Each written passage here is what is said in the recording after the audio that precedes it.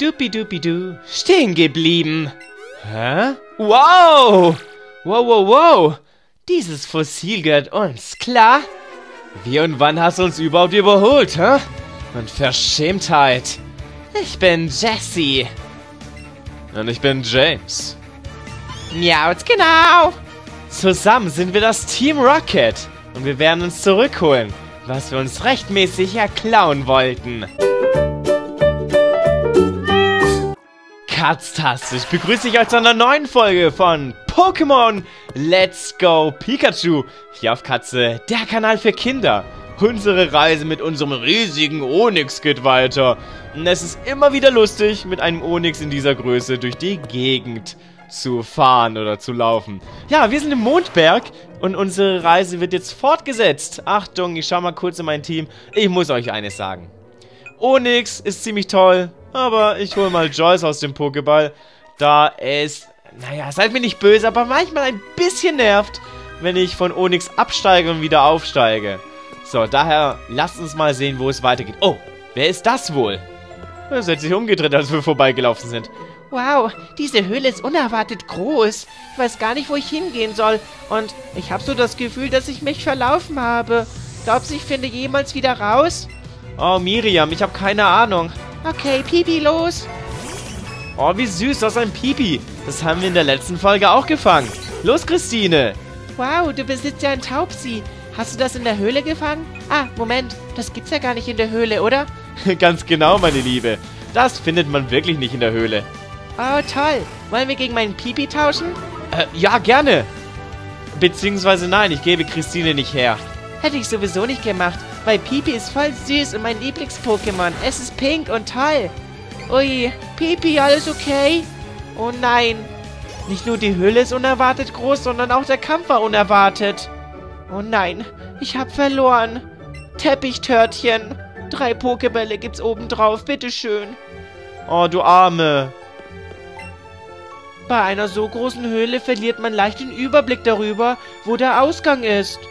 Oh nein. Lässt mich einfach allein? Äh, ja, tut mir leid. Oh, da ist der Typ schon wieder. Ah. Ah, hör auf uns zu folgen. Okay.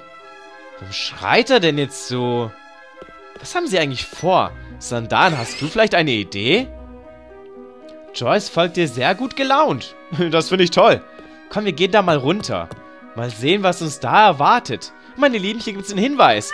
Wenn euch Pokémon gefällt, hinterlasst doch einen Daumen hoch und abonniert Katze, der Kanal für Kinder, damit ihr auch in Zukunft keine spannenden und lustigen Videos und das Abenteuer von Pokémon verpasst. Du findest ein Nugget. Die kann man für 5000 Pokédollar verkaufen. Ob in diesem Spiel ein Nugget auch so viel wert ist, weiß ich nicht, aber ich gehe mal stark davon aus. Ein kleines, winziges Kleinstein. Fang mich, ich bin ein Kleinstein. Ja, großartig, toll. Okay, Kleinstein, wir fangen dich jetzt, weil du winzig bist. Haben winzige oder riesige Pokémon eigentlich noch andere Vorteile oder sind sie einfach winzig und riesig? Gibt es da noch irgendwie, weiß nicht, kriegen die mehr Erfahrungspunkte oder haben die bessere Statuswerte, also EV, DV, keine Ahnung. Also EV nicht, aber DV? Schreibt es mal in die Kommentare, wenn ihr da was wisst. Wow, ganz viele Level-Ups. Onyx hat sogar zwei Level-Ups gemacht, weil wir ein winziges Kleinstein gefangen haben. Das ist verrückt. Vielleicht liegt es auch an der Fangserie. Hm. War das letzte Pokémon, das wir gefangen haben? Ein Zubat! Hilfe! Zubat, Zubat! Komm, wir fangen noch ein Zubat. Dann können wir es gegen einen Alola-Zubat tauschen. Kleiner Scherz, es gibt keinen Alola-Zubat. Schlechter Witz. Ein Alola-Zubat wäre für mich lila, muss ich sagen. Wobei dieses blaue Zubat auch ganz nett, ist. Und ich glaube, ein Shiny Zubat ist grün. Habe ich es richtig im Kopf? Müsste grün sein. So, Zubat wurde gefangen. Juhu! Ich weiß gar nicht, was wir mit diesem Zubat machen sollen, aber vielleicht kommt irgendwann, irgendwann mal ein Trainer und sagt, möchtest du Zubat haben, äh, tauschen. Sternschauer. Sternschauer finde ich gar nicht so toll. Ähm, ich nehme Einigler raus. Ich finde Sandwirbel besser als Einigler. Also ich senke lieber die Statuswerte des Gegners, als äh, meine eigenen zu erhöhen. Ich glaube, eigene zu erhöhen macht mehr Sinn in einem Kampf gegen einen echten Gegner, also in einem menschlichen Gegner, aber im Spiel, da die Gegner sowieso nie ihre Pokémon tauschen, macht es Sinn, lieber auf Sandwirbel zu setzen. Das ist meine Meinung. So, ähm, ich würde gerne Fiona ins Team holen, auch wenn sie leider vergiftet ist. Einfach nur aus dem Grund, da sie dann durch die Kämpfe und Pokémon-Fänge Erfahrungspunkte erhält. So, wow, hier sind aber viele Fledermäuse unterwegs, mein lieber Scholli. Schnell raus hier. Komm mit, Sandan. So. Da ist wieder so ein kleiner Junge. Was macht denn der hier ganz allein? Bist du auch hier, um die Höhle zu erkunden? Ja, das kann man wohl sagen. Besser gesagt möchte ich nach Azuria City und ich denke, dass ich durch diese Höhle muss. Stimmt das? Ich bin Luan und äh, ja, genau. Wenn du nach Azuria City möchtest, musst du durch diese Höhle. Ist ja lustig. Du hast ja einen Sandan. Du etwa auch? Ja, ich auch. Mein, Sana mein Sandan heißt Joyce. Schöner Name für einen Sandan. Wie heißt dein Sandan? Mein Sandan heißt Nadas. Na das? Nein, Nadas. Äh, warum? Das ist Sandan rückwärts. Oh, wow. Du bist echt kreativ. Hey, ja, ich weiß. Sandan sind toll. Yeah. Oh, verlieren ist natürlich total uncool. Na toll. Hier drei Pokebälle. Och nö. Tut mir leid. Ich bin den weiten Weg hierher gekommen, um dem Mädchen zu zeigen, wie cool ich bin. Wo sind denn die ganzen Mädchen? Ich habe vorhin eins getroffen mit einem Pipi. Ach ja, wo denn? Lauf einfach da nach hinten, da wo ich gerade hergekommen bin. Okay, danke für den Tipp. Tschüss, tschüss. Ein Wanderer. Wanderer haben immer Gesteins-Pokémon. Da habe ich kurz getauscht.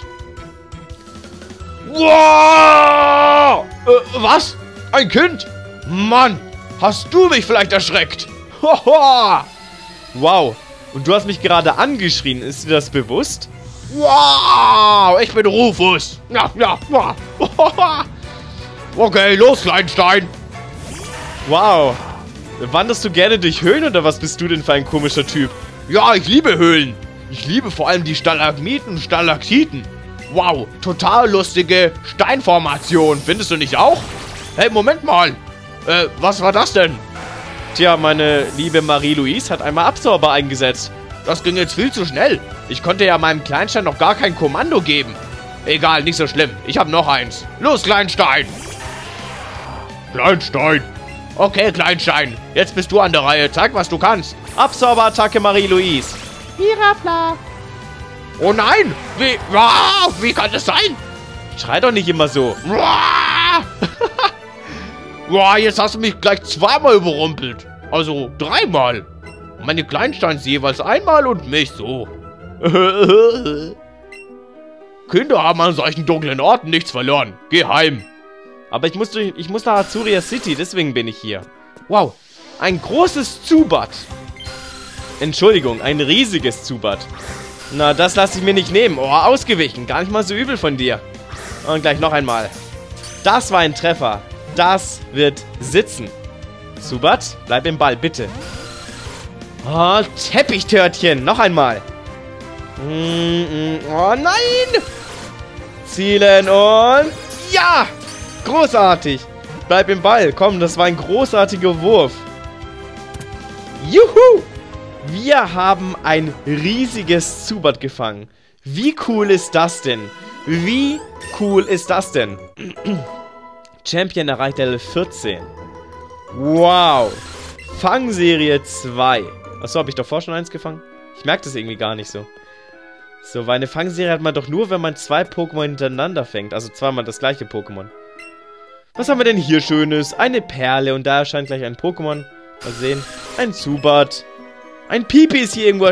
Ups, Salat, das wollte ich gar nicht. Ich wollte runterlaufen und gucken, wo das Pipi ist. Egal, nicht so schlimm. Und wer bist du eigentlich? Halt! Beutelkontrolle!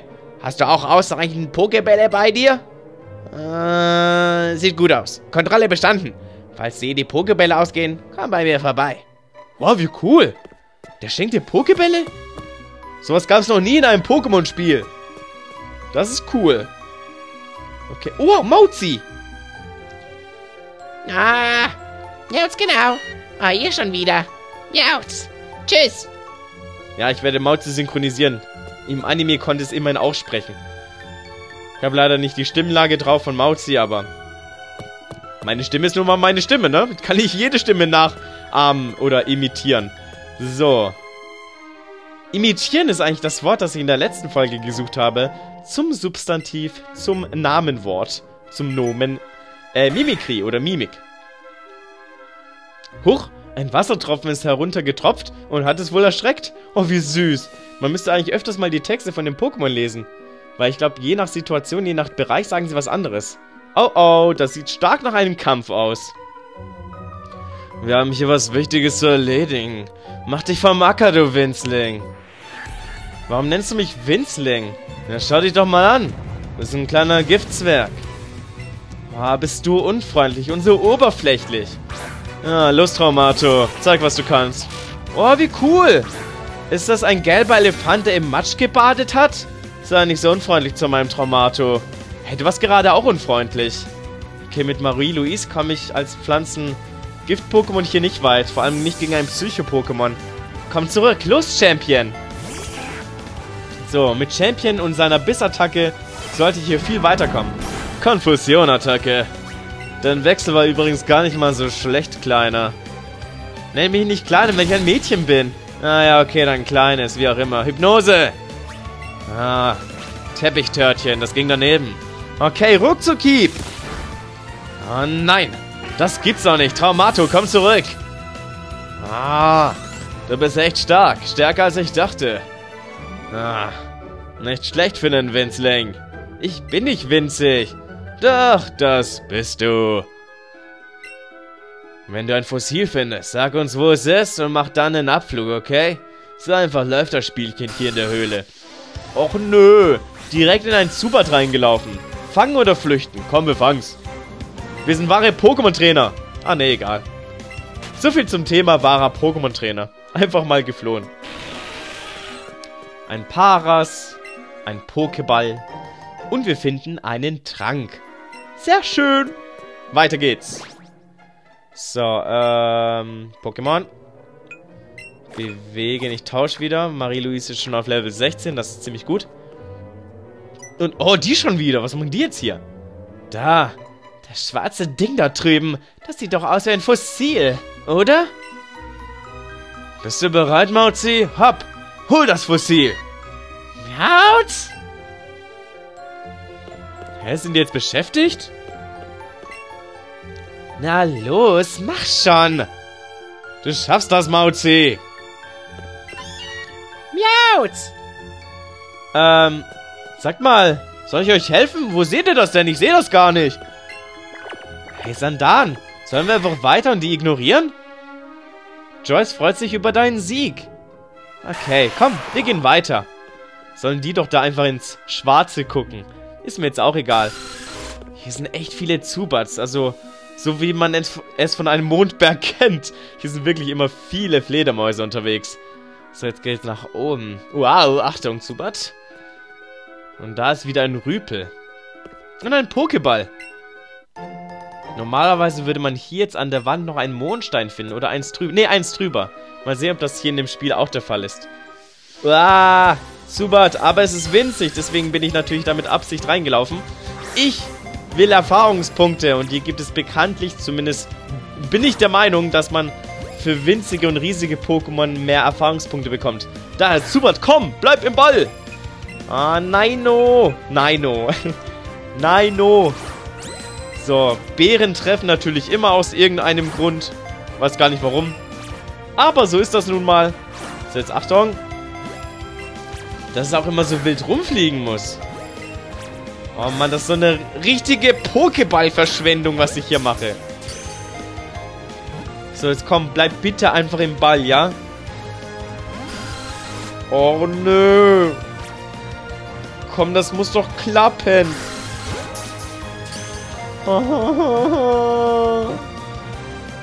Jetzt bitte. Oh Mann, Zubat. Du bist gar nicht einfach zu fangen, aber ich glaube, das weißt du auch selbst. Ah, okay. Was soll's? Weiter geht's. Eine Rüpelin. Steck deine Nase nicht in die Angelegenheiten von Erwachsenen, okay? Wow, bist du frech. Direkt. Die Rüpel sind immer so frech zu einem. Tja, das hast nicht anders verdient. Haha. Okay, dann mal los, Zubat. Zeig, was du kannst. Okay, Zubat, dann ist Champion meine Antwort darauf.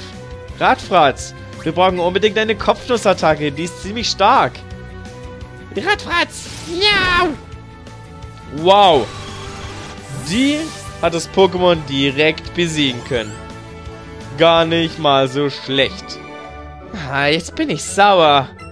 Es tut mir leid, ich wollte dich jetzt nicht sauer machen. Oh Mann. Hier sollen schon Pokémon gelebt haben, lange bevor es Menschen gab. Interessant, okay. Was haben wir denn hier? Haben wir jetzt hier einen Mondstein? So wie... Nein, haben wir leider nicht. Okay. Dann gibt's wohl da keinen Mondstein. So, wow, ganz viele Pokémon. Oh, was ist denn hier los? Halt! Stopp! Finger weg! Ich habe diese Fossilien gefunden, also gehören sie auch mir, okay? Wer zuerst kommt, mal zuerst. Und jetzt fordere ich dich zu einem Kampf heraus, damit du mich nicht störst. Denn diese Fossilien gehören mir.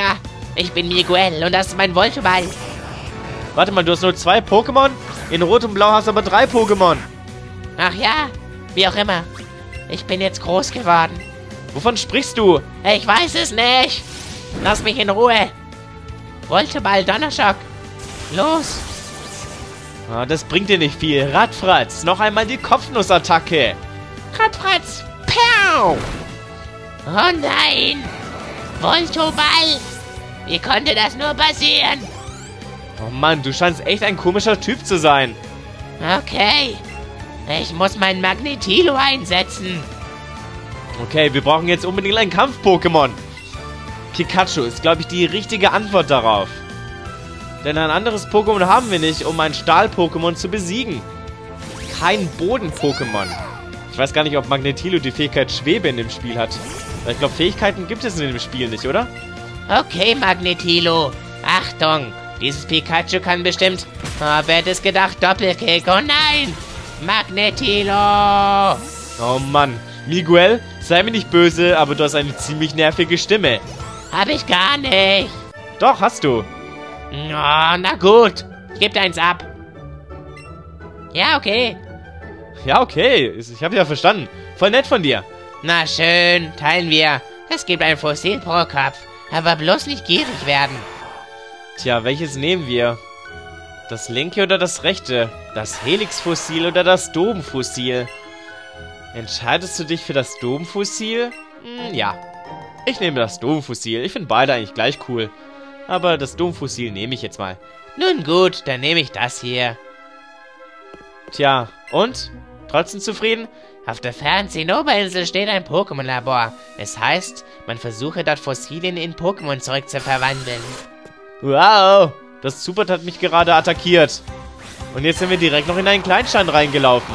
Na komm, wollen wir es versuchen zu fangen? Wir probieren es einfach mal. Weil die Fänge sind vor allem deswegen auch wichtig, dass wir, dass wir ein Level-Up bekommen. Jedes Level-Up ist wichtig. Yay, yay, yay. Ja, sehr gut. Manchmal klappt es gut, manchmal weniger gut. Wenn ich so an Super denke, war das vorhin ja weniger toll. So, Christina erreicht Level 17. Und versucht Ruheort zu erlernen. Ruheort ist eine Attacke, die man im Kampf einsetzen kann, um seine KP wieder aufzufrischen. Finde ich sogar besser als Sandwirbel, deswegen kommt Sandwirbel weg. Aber ich muss sagen, trotzdem finde ich Sandwirbel nicht schlecht. Vor allem, wenn man das sechsmal eingesetzt hat, öfters geht das nicht, ähm, trifft das gegnerische Pokémon sehr selten. Oder zumindest seltener. So. Stehen geblieben. Wow! Dieses Fossil gehört uns, klar? Wie und wann hast du uns überhaupt überholt, hä? Unverschämtheit.